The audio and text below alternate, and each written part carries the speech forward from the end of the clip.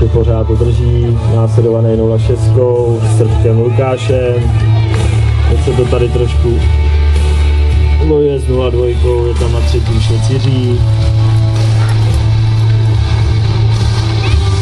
Pořád se drží pohromadě, ještě si tam může cokoliv stát.